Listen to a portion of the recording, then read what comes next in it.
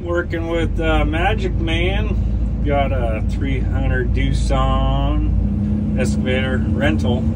Has the bio oil in it. And then I'm currently running a brand new Kobelco 210 that we just purchased. It has bio oil in it for working in the creeks. Uh, so what we're doing right now is we're building an access road down to the creek and then we got to put all these fish logs in the river.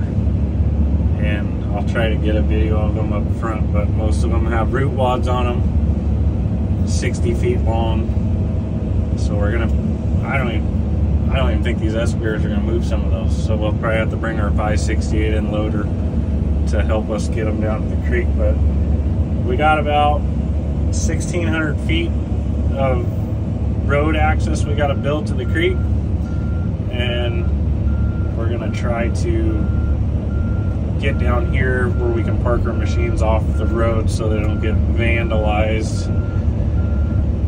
So that's what we're hoping lot of activity up here since uh, the fires have gone through and now it's just a free-for-Molalla up here in this uh, all river corridor so that's what we got going um, try to get some GoPro footage tomorrow or the next day when I come up here while we're in the creek. So uh, I haven't done one of these in a while, so it'll be interesting to see what we're up for.